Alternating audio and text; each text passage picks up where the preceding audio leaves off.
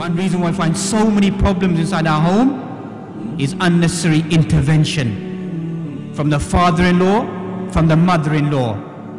Can't restrain, restrain their tongues. And likewise the daughters as well. Any small thing to petty things to complain. Fatima, her hands were ripped apart. This is the daughter of the Prophet Muhammad. Her hands became harsh, became coarse, became rough. Because she would knead the dough, wash the clothing, take care of the home. So she said one day to Ali, Go and speak to the Prophet. Some servants have come, go and ask him to send a servant into our house to help us inside the house. Tasawwaru hada, think about this, daughter of the Prophet Muhammad. You know what we say to our daughters, don't we? Leave him and just come home, we'll take care of you. Isn't it? That's what we teach our daughters. We were taught in our lives, don't ever return to your home unless there's a serious problem. A woman never leaves a home for the excuses that are presented today inside our society.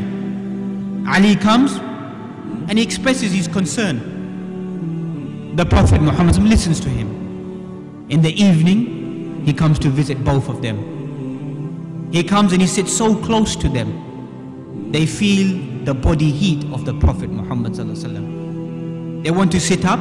Out of respect, he tells them to stay there. He says, Don't think I am unaware of what you requested. He could have given it to them, as many servants as they wanted. He could have presented all of the companions to stand there and take care of his household.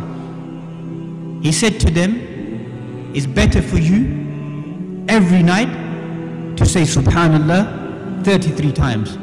Alhamdulillah 33 times. Allahu Akbar 34 times. Yakfikum. That's enough. You don't need these elements of the dunya. And he says, I never gave that up in my life. Never. When I fought, when I struggled, turmoils, calamities, difficulties, I went to sleep saying Subhanallah 33 times. Alhamdulillah 33 times. Allahu Akbar 34 times. You don't need antidepressant tablets to go to sleep. You don't need anything to go to sleep. الذين آمنوا وتطمئن قلوبهم بذكر الله ألا بذكر الله تطمئن القلوب Indeed, the dhikr of Allah, do hearts find tranquility and find peace. That's what he told his beloved ones. Find that peace in your remembrance towards Allah subhanahu wa ta'ala. He could have offered them the whole of the dunya. Whatever they wanted as a fatherly love. But he taught them that lesson that they would never ever forget. And that lesson goes to all of us as Muslims. That we begin to look at everything around us and fail to understand the best thing that we possess inside our lives is right here inside our hearts.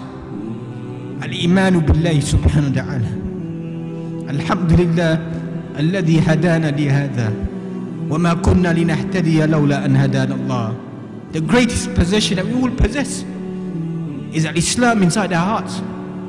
Praise be to Allah subhanahu wa ta'ala guide us to this, to al-Islam. If it had guided us, we would have been amongst the straight individuals.